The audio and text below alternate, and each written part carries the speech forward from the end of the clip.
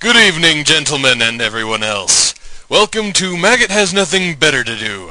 I'm your host, the Beard Maggot. I'm Maggot's co-host. All shall fall before me in time. Yes, this is Frugal, my co-host. Worship me, females. A boy after my own heart, wouldn't you say? Tonight on the show, we have an interview with Corrigus Travaclum, hero of the Intrigian War and overall cuddly guy. It's nice to be here, Maggot. Of course it is, you putrid incarnation of inferiority. Let's go straight to the phones. We've got Vantrag calling from the interim colony. Vantrag, you're on the air. Er, yes, I have a question for Corrigus. Whose monkey did you spank to become an admiral anyway? You wouldn't know tactics if they walked up and bit your... Punish him! Next caller. Crackmaster from Woodland Heights, Canada. You're on the air.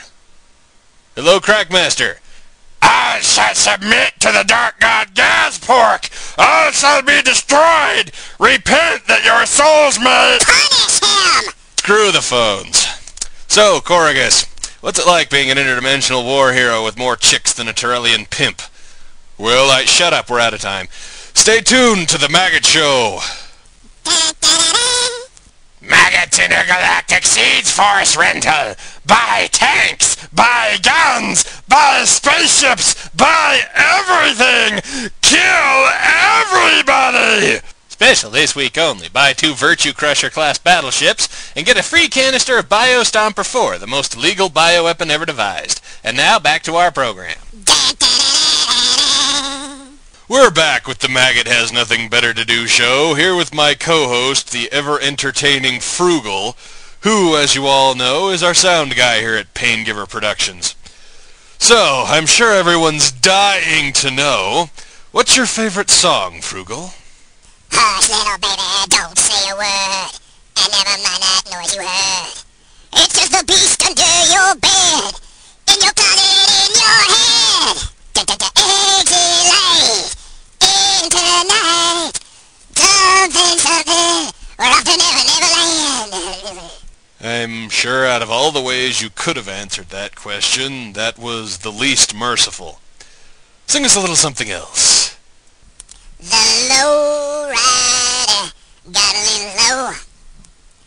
The low rider, something, something, something. Give me a lyric sheet before I kick your teeth in. You are so incomprehensibly rude. That's why you hired me, jackass. True.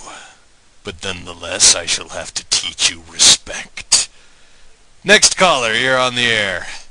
Eh, how can I be as cool as you? You can't. Next caller. Yeah, like, Frugal is so sexy. I'm not afraid to kill you, so just back off. My, a little sensitive, are we? I don't have your heart on a spit yet, maggot. Well, it's inevitable that somebody will. Da-da-da. Industrial. It is they who build the engines. It is they who take the lives. It is they who create the hatred. When you see a dark cloud forming, we're there. When you hear a child screaming, we are watching. When you die, we will know. Gaspork Industrial. We make terrible things. This has been a public service announcement for the League for a Darker Tomorrow. So, we're back yet again. It seems every time I get a break, there's yet more freaks whose lives are so pathetic that they have to come clawing desperately into the studios here and beg me to grant some small sliver of light to their wretched, insignificant lives. Gee, maggot, I'm so sorry. I think I'm gonna start bawling. Me too. I touch even myself sometimes with my depth and sensitivity. Now, as usual, we have nothing better to do than go to the phones. Somebody talk to me. Anonymous from Canada, you're on the air. Gaspork shall devour!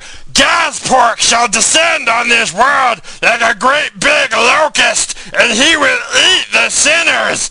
Pledge yourself to... Punish him! I wonder if I'll ever learn.